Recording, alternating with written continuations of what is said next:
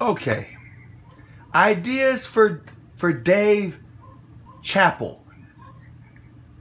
Well, he could uh I'm thinking um he could have a bit and uh talk about uh, I'm not really high. Maybe I should take another hit of weed before I try.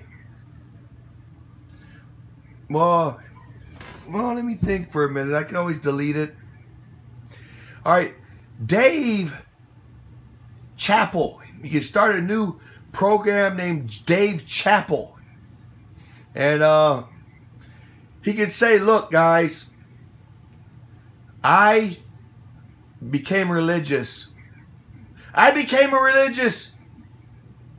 I wanted to be a Christian.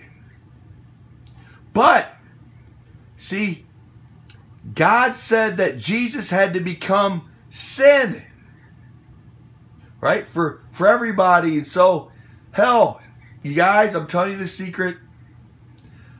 I became gay to so everyone would like me. Satan, you know how he does the contracts, right? So Satan would like me. But I tricked him. Because at Dave Chappelle, I became gay to go to heaven and marry Jesus.